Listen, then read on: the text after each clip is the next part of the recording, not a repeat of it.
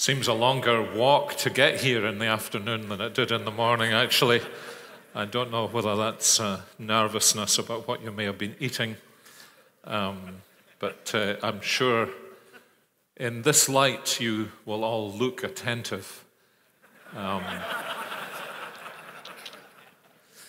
while we're continuing our studies in uh, union with Christ, um, hard to believe that we have actually, I think, now passed the main central point of our time together. We've had three sessions, we've three main sessions to go, and uh, we, are, we are basking in the joy of being united to Christ. And I want us to continue to do that from Colossians chapter 3, um, which will certainly be the central passage in what I want to do this afternoon, although I'm going to stray out of Colossians 3 from time to time for reasons that I hope will become clear.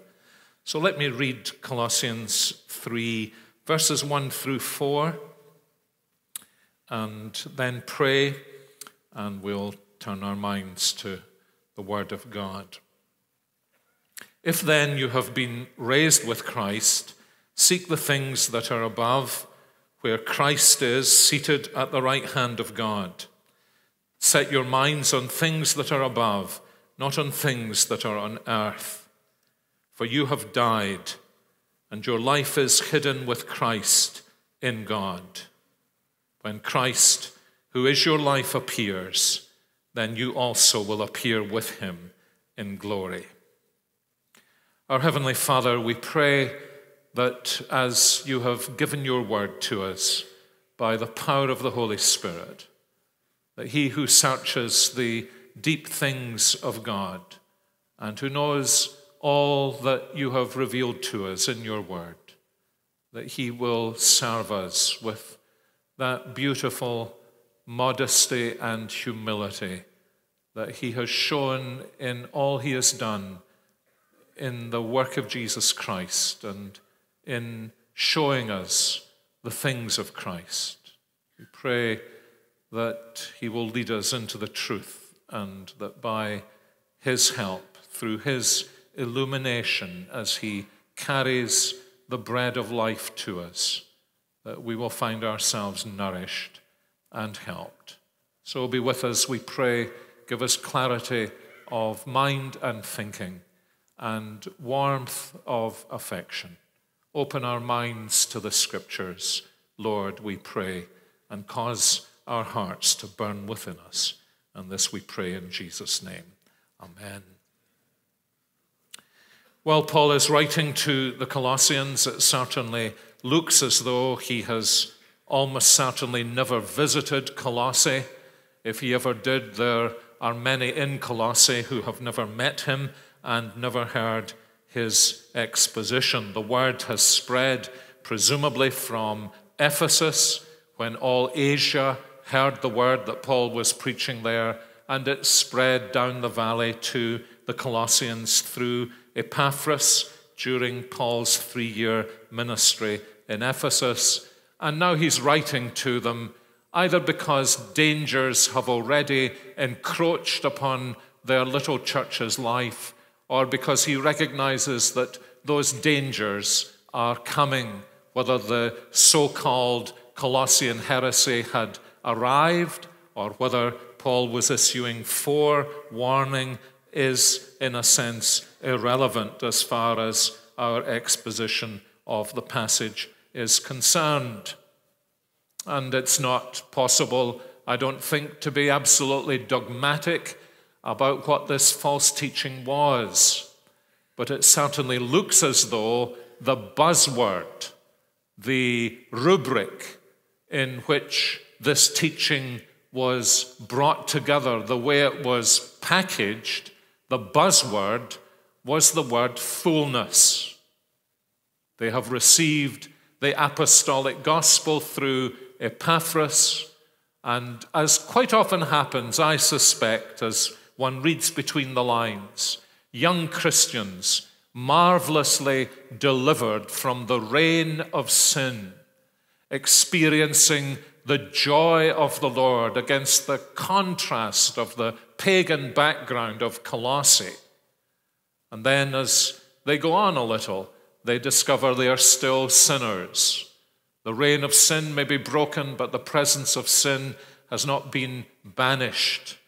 And as we know as pastors of the sheep, it's often just then that young Christians are prey to the wolves who will come along and say, What you have had is all very well.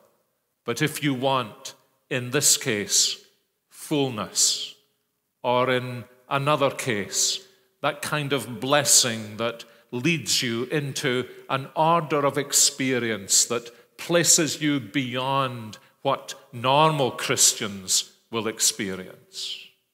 And so often, as we find younger Christians or untaught Christians are surprised as they discover the not just lingering presence of sin, but the fact that the nature of sin is unchanged. And so they fall prey to the kind of false teaching that endangered these Colossians, the kind of false teaching that has its simple principles questions of food and drink, observations, worshipping angels, visions, puffed up without reason. And Paul says at the end of the day, these indeed have an appearance of wisdom. That's the point. They have an appearance of wisdom to the untaught believer. But actually, as he says, instead of setting us free, they are of no value in stopping the indulgence of the flesh. And his response, his response is, is so characteristic of Paul, isn't it? In these situations, you, you find it in his letters. You have these massive exaltations of Jesus Christ. We used his exaltation of Christ in chapter 1, verses 15 to 20, as a kind of confession of faith. The sheer greatness of Christ. And especially as he wants to teach them that all fullness is found in Christ.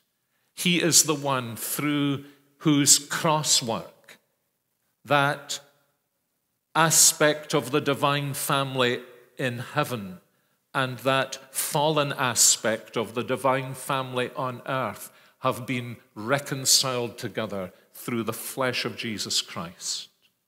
He has brought together, as it were, the, the, the cousins in glory the creatures of unfathomable power and mystery, and the archangels and the angels, and all the hosts of glory, the cherubim and the seraphim, and in his death and resurrection, he has united that holy family with the new holy family that he has purchased with his blood. There is such fullness in Jesus Christ. And so to lower your eyes to these things would be to miss the glory. It would be, and what he wants to emphasize here, it would be to miss the sense that if you are united to Jesus Christ, in whom all the fullness of the Godhead dwells bodily, who is the center of the reconciled family in heaven and in earth. If Christ is yours, then you have all fullness in Jesus Christ. And so, as we heard Calvin say at the end of Institutes Book 2, drink from no other fountain than from Jesus Christ and understand what it means that by the Holy Spirit, as you have been brought to trust in Him, you have been united to this fullness. As we saw last night, you have been made a branch in this vine. You have been baptized in the name of the Father and the Son and the Holy Spirit. And Everything that you are being offered as a substitute looks cheap and tawdry by comparison with what He has given you in His blessed Son, Jesus Christ. And so He wants to help them to grasp this. And as He does this, He does this now not, as it were, as a vista, as I suggested in Romans 6, but now by an immense panoramic view of what it means to be united to Christ. And so he reminds them here at the beginning of chapter 3 that in Jesus Christ they have been given a new identity. And throughout this whole section in Colossians, from chapter 2 into chapter 3, he's stretching beyond Christ crucified and raised. He says, You have been circumcised in the circumcision of Christ. You have died in the death of Christ. You have been buried in the burial of Christ. You have been raised in the resurrection of Christ. You have ascended in the ascension of Christ, so that he says, Your true life is hidden with Christ in God. He understands that, that we don't easily read this on one another's faces that the world does not know us because it did not know him. But the truth of the matter is, if I'm Christ's, then I am already so secure in Christ that my life is hidden with Christ in God. It's interesting, isn't it, how, how many ideas that we find playing out in John's gospel are played out in a different language in Paul's theology. No one can pluck them out of my hand. No one can pluck them out of the Father's hand. I and my Father are one. And so he says, Dear Colossian believers, see yourself hidden with Christ in God. And then in a word that makes the, the words of Calvin that we heard this morning so marvelously biblical. And when he appears, we shall appear with him in glory. As though, as, as the son of a father, the Lord Jesus would turn to his father and say, I'm not going without them. I do not consider myself to be complete without those whom I have united to myself in the power of the Spirit. Those, Father, you gave to me from before the foundation of the world. You notice how, as Jesus gets nearer the cross in John's Gospel, that expression begins to dominate. It is clearly his deepest emotional feelings about these beloved disciples. They are those the Father gave to him in his love for him from before the creation of the world. And he will not come back without them. And Paul is doing this to say to these Colossians if you understand who you are in Christ, you will see all these cheap imitations of spirituality for what they are. They are not only dregs, they are false. They cannot compare with the fullness, the riches that are ours in Jesus Christ. And so, beloved, he says, you need to learn to see, oh, you not see yourself this way. That this is who you really are. And at that moment when you came through regeneration and faith to be united to the Lord Jesus instantaneously, you didn't need to grow in sanctification for this to be true. You don't need to become a pastor for this to be true. You just need to come to Jesus, and all of this becomes true of you. And He gives you a wholly new identity Actually, so much of pastoral ministry, doesn't it boil down to this? Of sitting down patiently with people and saying to them, Let me tell you who you are in Christ. Let me show you the wonders of the grace of God in the Lord Jesus. Let me show you the massiveness of his love for you.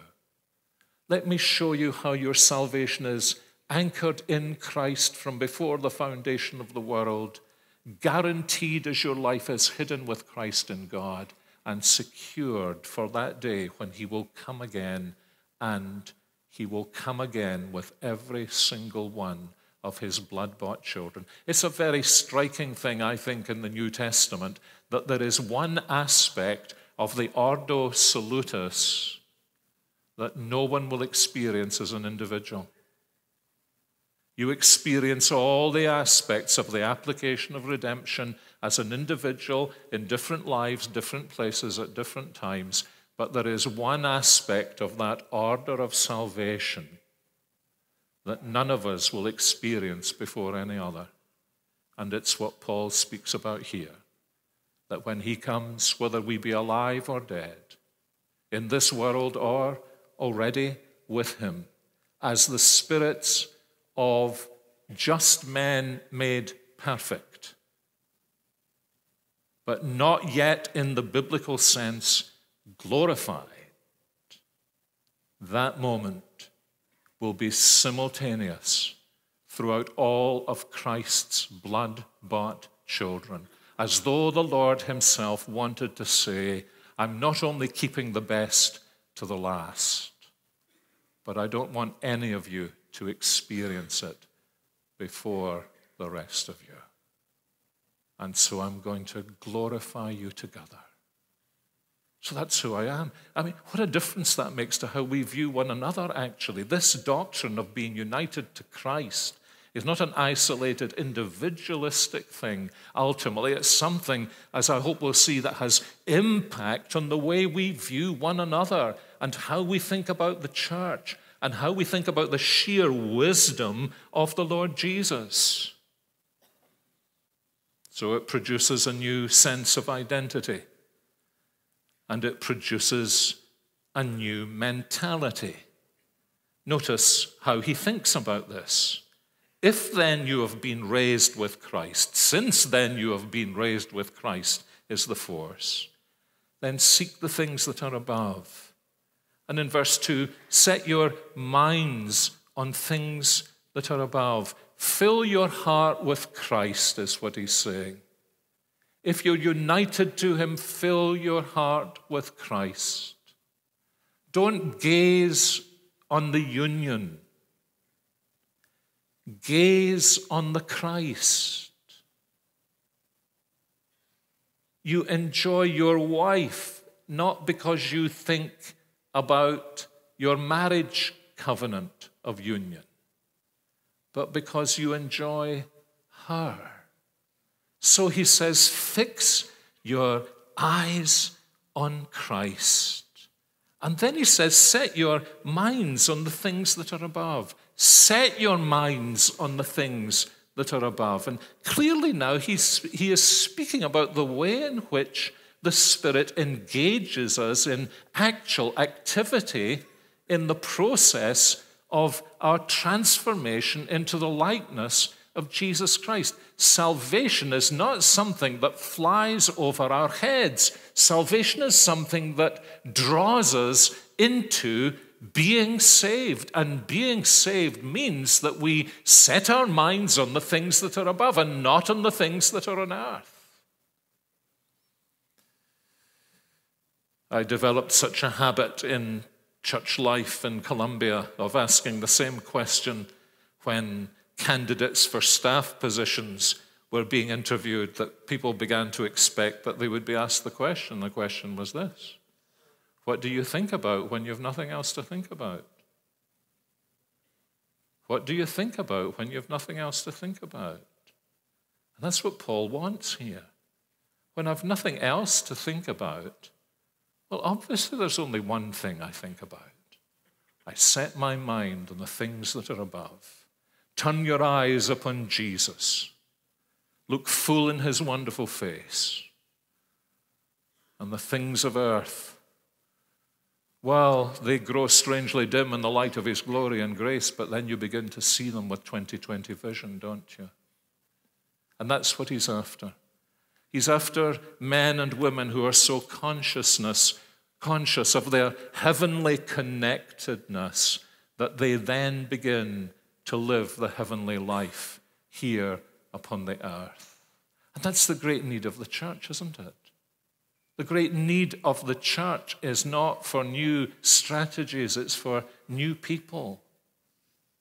The need of the church is not to try to get the world to ask questions, but the need of the world is to live such a heavenly life here, for all our faults and failures to have heavenly kind of family life here, that unbelievers ask us the question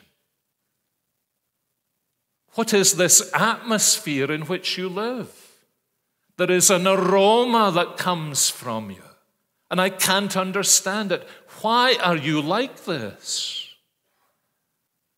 And the answer is not that we keep flicking the switch so that we can be the light of the world, but that we know that we are united to Christ and He will do His own work through us. That we have been crucified with Christ and yet we live. And yet it's not I that lives, but Christ who lives in and through me. So he's saying, Beloved in Colossae, let this glorious Christology, the fullness that is yours in Christ, now spell that out in terms of all that He has done for you. And see yourself as someone who is, in a massive sense, united to everything that He has done.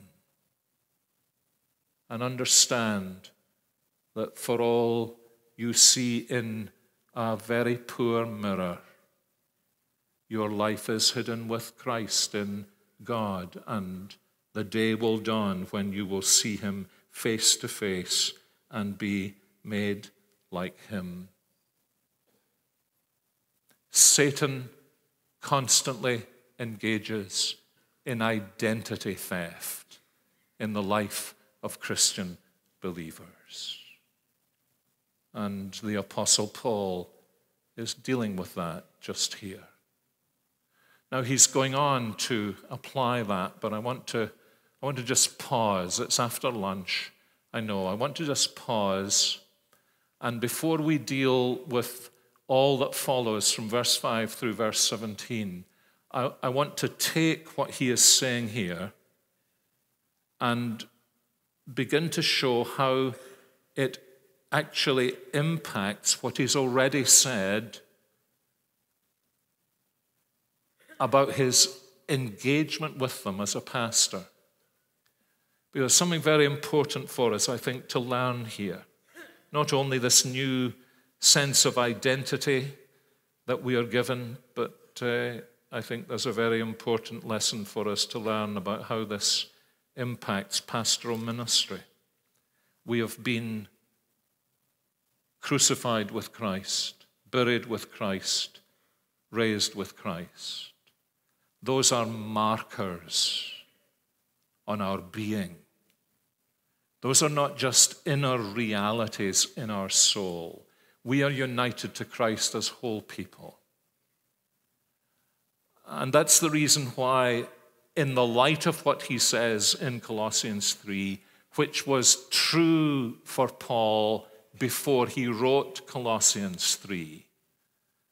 That when he writes to the Colossians earlier on in chapter 1, he can say such things as, verse 24, I rejoice in my sufferings for your sake, and in my flesh I am filling up what is lacking in Christ's afflictions for the sake of his body, the church of which I became a minister according to the stewardship from God that was given to me for you. And then later on, we proclaim Christ, warning everyone, teaching everyone with all wisdom, that we may present everyone mature in Christ For this I toil, struggling with all his energy that he powerfully works within me. I want you to know how great a struggle I have for you and for those at Laodicea, that their hearts may be encouraged, being knit together in love to reach the riches of full assurance of understanding and the knowledge of God's mystery. Now, there's a rhythm there. And it's the rhythm of the minister who is united to Jesus Christ and sees that union flow out from him, not simply in the knowledge that he has died to the dominion of sin and been raised into newness of life, but that in the context of this union with Jesus Christ, he is by the Spirit through the Word and his sovereign activity in providences and his commitment to the Lord and to the Lord's people, he is actually participating in the reality of being one who has died with Christ and been raised to newness of life. Or if I can put it quite simply, he is participating in the reality of union and communion with a resurrected, crucified Savior and therefore he should anticipate that his whole ministry is going to fall into this pattern of sharing in union with Christ in his sufferings and triumphs. And these statements here have all the hallmarks of that. Although Paul actually speaks about it more clearly elsewhere, it has the hallmarks of the fact that if I'm united to Jesus Christ, I'm united to a crucified and risen Savior, and that therefore my whole life is going to be shaped and molded by what it means to be united to such a Savior. So that it is going to be a reality for all fruitful Christians. And Paul is speaking here as a fruitful Christian. That there will be a filling up of what is lacking or behind in the sufferings of Christ in me. Not his atoning sufferings. The lack is not in Christ. The lack is in me. It's as though Paul is saying, there is still a ways to go in my sharing in the sufferings of Christ in order that I may be fruitful in sharing in the resurrection power of Christ as he brings about new life and leads men and women and boys and girls to spiritual maturity. There is a deep costliness in being united to Christ for service. And there is a profound blessedness in seeing his resurrection power released into the lives of others. Because it is as true of us as it was true of him that unless a grain of wheat falls into the ground and dies, it abides alone. But if it dies, it will rise and it will bear much fruit. May I just pause on this because it's so, it's so much part of what the Apostle Paul teaches that I think it really is worthwhile just considering it for a few minutes longer. There are many different ways in which we could do that. Let me, let me do it by means of the way Paul works in two letters. Let me just, for interest's sake, read 2 Corinthians backwards and you will see the point. 2 Corinthians chapter 13 and verse 4. Christ was crucified in weakness, but lives by the power of God. For we also are weak in him, but in dealing with you, we will live with him by the power of God. Now, you know the difficult situation Paul is speaking about here, but notice what he says. He does not say, We are weak in ourselves but we are strong in Christ. He says, We are weak in Christ, and we will be strong in dealing with you. It isn't because he is outside of Christ that he tastes weakness. It's because he is united to the crucified Christ and shares in his sufferings that he tastes weakness. And that would have been understandable in the light of what he had said in 2 Corinthians chapter 4, wouldn't it? These amazing words in, in uh, verse 7 through 12. We have this treasure in jars of clay. He says, We're struck down but not destroyed.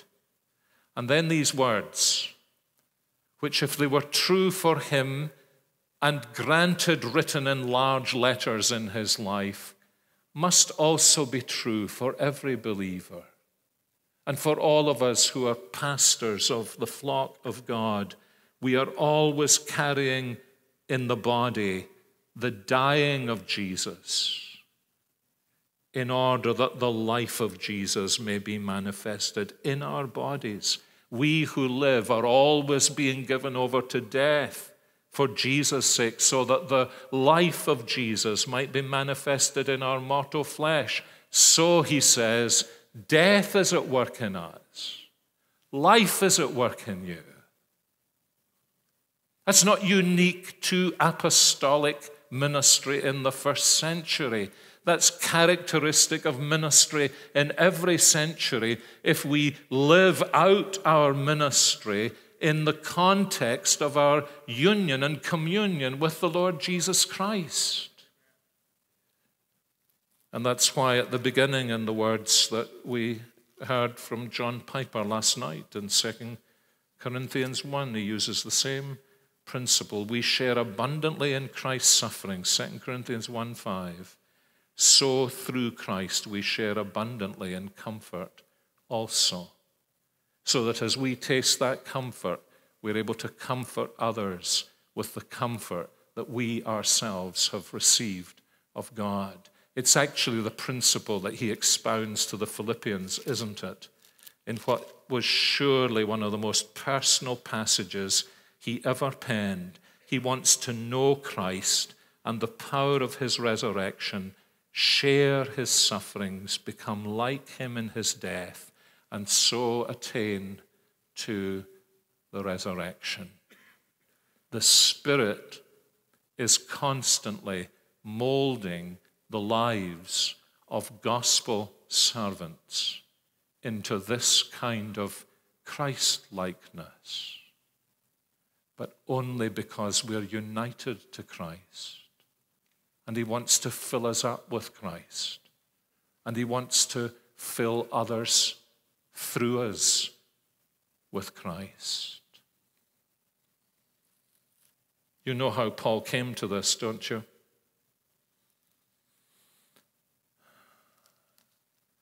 Paul rarely tells us about the inside of his conversion, but he, he does give us some, I think, pretty striking hints. He tells us here in Philippians 3 that uh, he had a, an outstanding pedigree and he was proud of it, that he was a zealous man and he sought to persecute the church. He tells us at the beginning of Galatians, in a kind of post conversion modesty, that he had outstripped many of his generation. I think you read between the lines and he's saying, I was head and shoulders above them all.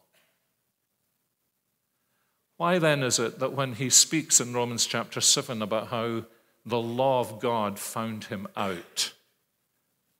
How is it that he says it was the commandment, thou shalt not covet, that came with power, and sin revived, and he died? Why that commandment?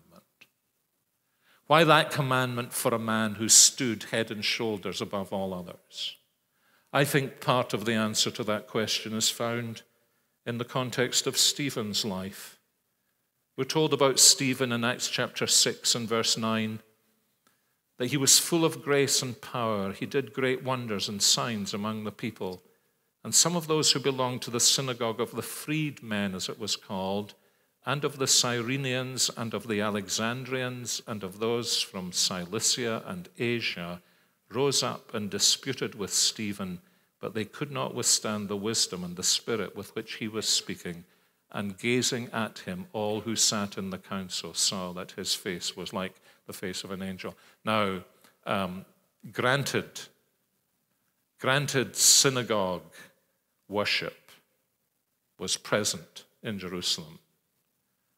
Why give us this boring list of the names of the people who were in this synagogue? Why does he do that? Because this was the synagogue Saul of Tarsus almost certainly attended. He was from Tarsus in Cilicia. And here this young man arose in this context. He had a Gentile name. Perhaps he came from one of these places. And there was nobody who could better him in the use of Scripture. There was no one else whose face showed such grace. There was no one else who demonstrated the power and the wonder of the God of heaven. And for the first time in his life, Saul of Tarsus was looking up to someone who stood head and shoulders above him in everything he counted precious. And you know what happens when that happens? You either join it and seek it, or you destroy it. And so on the Damascus Road, after he had destroyed it, a voice from heaven came and said to him, Saul, why are you persecuting me?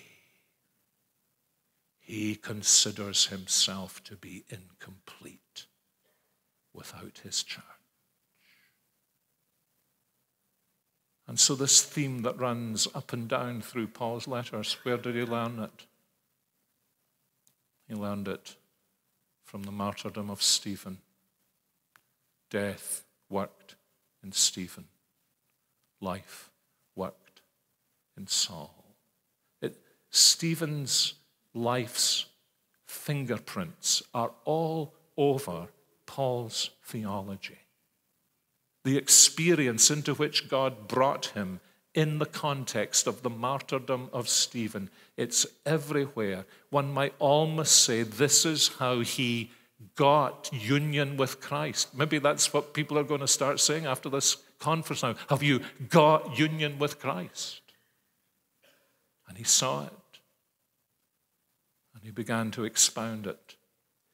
And he saw in Stephen the beautiful fruitfulness of a man who was united to Jesus Christ, but he saw especially what it meant to be united to Jesus Christ in his sufferings, in order that we might share in his fruitfulness and in his glory. That puts an entirely different perspective on so many areas of pastoral ministry, doesn't it? They don't seem to make sense. Christians around us say, Why are things going wrong? What's happening here? Why is there suffering? Why is there opposition? Why is there persecution? What's happening here? But you know, the only thing that's ever happening here is He's making us like Jesus. And He's making us like Jesus the way He made Jesus like Jesus. That's the whole point. And He's determined to do the same with us. So that's moving backwards into how it is that on the basis of his thinking here, Paul could write what he has written earlier on.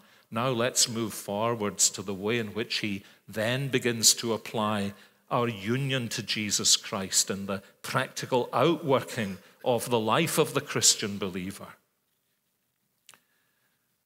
And I don't have time to go into the details of all this, but I do want you to notice the very obvious rhythm in which he speaks. United to Jesus Christ, therefore put off. United to Jesus Christ, therefore put on.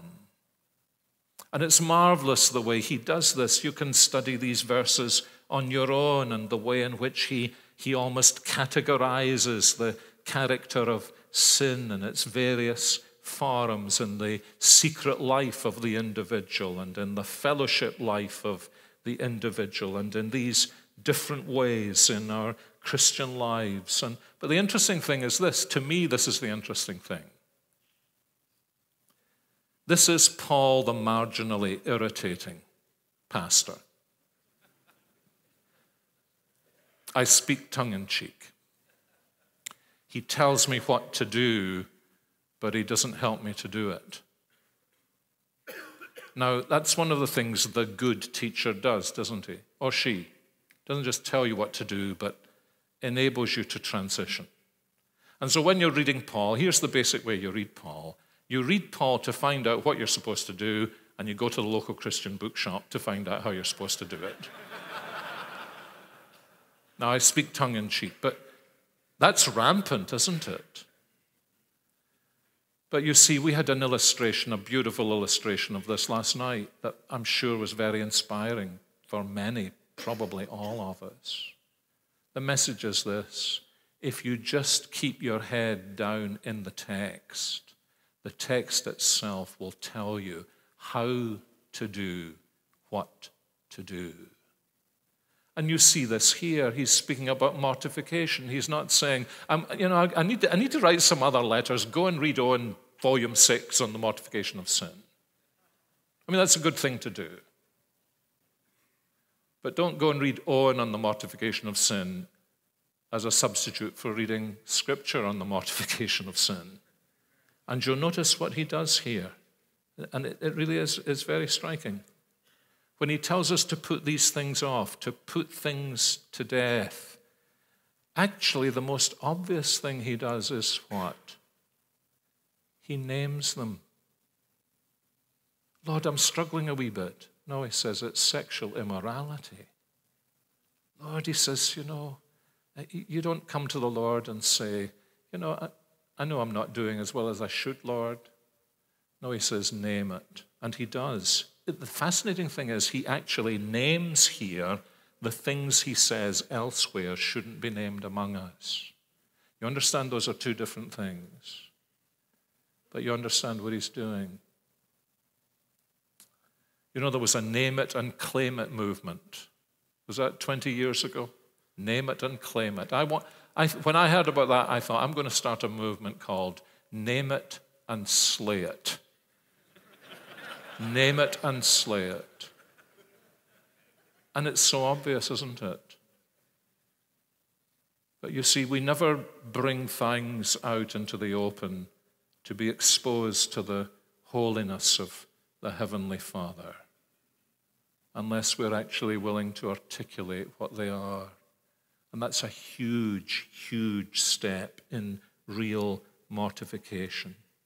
And he says, now, he says, you need to look at this from God's perspective. On account of these, the wrath of God is coming. This is what, this is what your, uh, your heavenly Father, this is what Calvin we heard is saying. This is what your heavenly Father hates. And his holy wrath is going to be poured out upon what he hates because it damages and destroys what he loves. And because we know the place where his holy wrath was most clearly poured out, we, we take these sins and tendencies that we hide and love and we bring them to that place where the wrath of God was poured out upon them. And we say to ourselves, Can I live for this for which my Savior died under the wrath of a holy God? And it's here, it's, it's actually in the warp and woof of what he says here. And then he says, Remember who you are. He says, verse 7 In these you once walked when you were living in them, but now put them all away. They don't belong anymore. And then as he moves through them, he tells us not to be false to one another, seeing we've put off the old man isn't this one of the most beautiful things that happened to us when we became Christians? We realized, I don't need to be false with you any longer. You have loved me even when I was under your wrath. You loved me and sent your Son for me. Lord, take away all the masks all the coping mechanisms I use to hide from you and defend myself against you. You've united me to your Son. You look upon me in Him. You love me in Him. And so I don't need to pretend anymore. What a, What a thing that is actually for us as gospel ministers as well, isn't it? That we don't need to pretend anymore. And we're able to put it all away. And then he says so beautifully, You're doing this because You've put off the old man with its practices, and you've put on the new man who is being renewed in knowledge after the image of its creator. And here he says, and now he's, he's, he's circling this principle of putting off within the context of our fellowship life. He says, Here there is not Greek and Jew, circumcised and uncircumcised, barbarian, Scythian, slave, free, but Christ is all and in all. And he's saying, here's how you mortify sin in your relationship to other members of the fellowship. You look to Christ who is in all.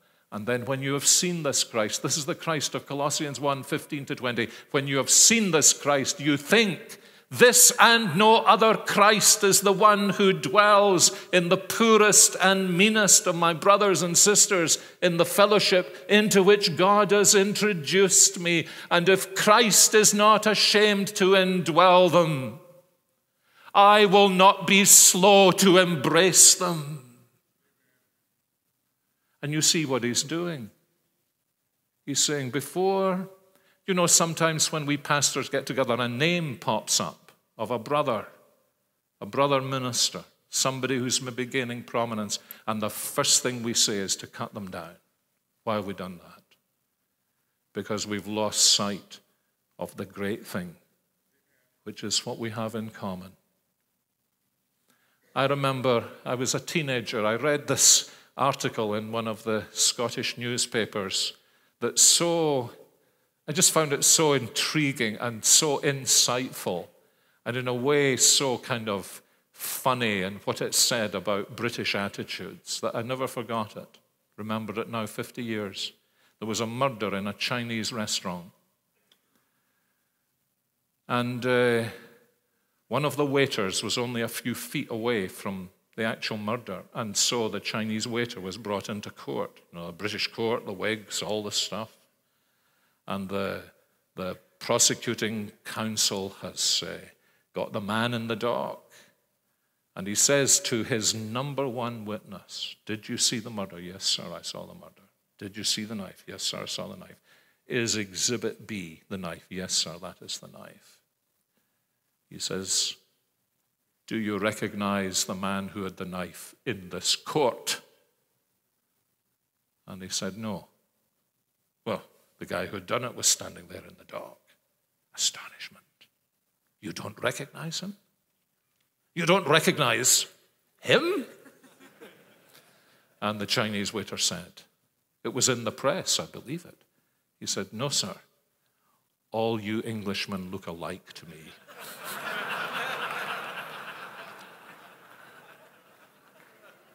Now, why is that?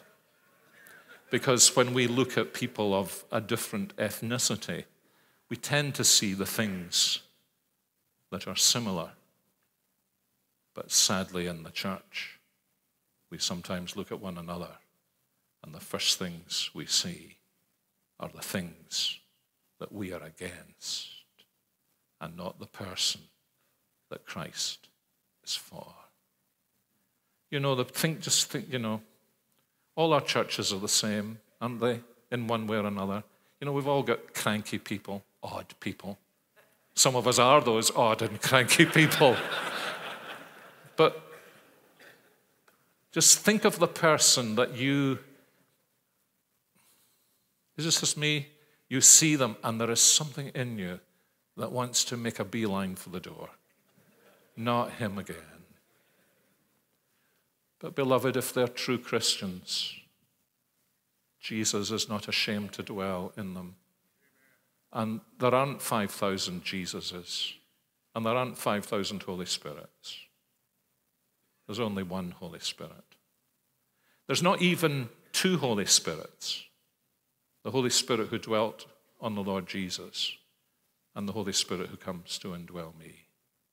The Holy Spirit who comes to indwell me is the Spirit who dwelt on the Lord Jesus. The union is that close. And so you see, there's a marvelous connectedness between union with Christ, being in Christ, Christ dwelling in us. That's another conference altogether, the indwelling of Christ in us, that so empowers us to put away what is offensive to the Heavenly Father and leaves a, a bad taste in the life of the fellowship. And then, of course, this is, this is so Christian, isn't it? Because some of us love this stuff. We love Owen on the mortification of sin. But no one has ever made progress in the mortification of sin who hasn't simultaneously made progress in putting on the graces of the Lord Jesus Christ. The mortification of sin is not the whole of sanctification, albeit it is an essential ingredient. So, because we are in Christ who has died to sin, we put off that for which he has died. And then, says Paul, we begin to clothe ourselves with all that He is in His grace and resurrection power. And we begin to put on, and He is this. You know, the way I like to put it is this if you look at verse 12, I kind of like to say, in the context where people will not misunderstand me, here is the Bible's definition of what it is like to be a Calvinist. This is what a Calvinist looks like. As God's elect, holy and beloved, put on compassion, kindness, humility, meekness, patience, bearing with one another. If one has a complaint against another, forgiving each other as the Lord has forgiven you. And above all these, put on love. Put on love, which binds everything together in harmony. How we distort the graces, the fruit of the Spirit that He may have begun to produce in us if we haven't bound everything together in love that holds them all together. You know, we become itchy and twitchy and unbalanced, but where there is love binding them all together. There is the, there is the beauty of the risen Christ among his people. And so he says, and so let the peace of Christ rule in your hearts. Let the peace of Christ act as the umpire in your fellowship because you were called to peace. Be thankful. And now he says here, here is what feeds that when you let the word of Christ dwell in you richly. It's so John 15, isn't it? I've cleansed you through the word. Abide in me by letting my word abide in you. Let it dwell in you richly as you teach and admonish one another in all wisdom, singing psalms and hymns and spiritual songs isn't it interesting what a parallel there is between this and Ephesians 5:18? He says exactly the same thing is the fruit of being filled with the Spirit. Here he says it's the fruit of being filled with the word of Christ indwelling you, because of course the word uses the grace of preaching in the power of the Spirit to find deep indwellings in our souls so that the Word of God may get down to the very heart of our being. That's how the Spirit loves to do it. That's why there is such a mystery to preaching, isn't it? That you, you don't always know where you're going, but you have some idea of where you want to end. But you've no idea what the Spirit is doing out there as He causes the Word to dwell richly in one and another. That's why you know you ache inwardly sometimes because you feel as though you may have torn the consciences of the people to pieces and you're embraced at the door by a brother or a sister who says, That was so encouraging to me. Why? because it's the word of Christ. And you know, when people get a glimpse of Christ, who is all sufficient for all the needs of all of his people, all of the time, then of course, no matter where you go with the word, if it's the word of Christ, they are brought to him and are found by him and hear him and are nourished by him. And they say to him, Say anything you want to me, Lord Jesus. And as we do that, we're singing psalms and hymns and spiritual songs and making melody to the Lord in our hearts, so that whatever we do in word or deed, we do everything in the name of the Lord Jesus, giving thanks to God the Father through him. Well, I'm only beginning and the time is ending. But there is no end to him, dear brothers and sisters. This is a fountain from which we may drink forever and discover in our union with Christ wonder upon wonder upon wonder until sometimes we will say, Lord Jesus, I'm not sure I can take any more. You will need to enlarge my capacity for the knowledge of your love for me and the intimacy of your union with me. You know, if you're a man and you love a woman, there is a wrong way with a bad motivation to say, I want absolutely all of you. I will never be satisfied. And isn't this the mystery of marriage? You know, you've been married, we've been married 43 years. You know, I think I'm just beginning to understand my wife, find out who she really is. And, and she's just another human person. And I want to know more. I want to, I want to know those details that as, as memory brings them back. I want, because I love her, I want to know want to know everything. I want us to be, I want us to be absolutely one together in that way. It can be like, love is the most demanding thing in the world, actually, isn't it? It's in a way, in a way, it's not so much the righteousness of God that frightens us, it's the love of God. Because He wants all of us, and all of us in that love. And it's like this with Jesus. You know, when you see a young man and a young woman standing proudly before you and you're about to marry them, and you know what's passing through the fellow's mind. He's standing there thinking, There has never been a man in all history who has loved a woman the way I love this woman. and you don't want to upset the proceedings by saying, This young man knows absolutely nothing about anything.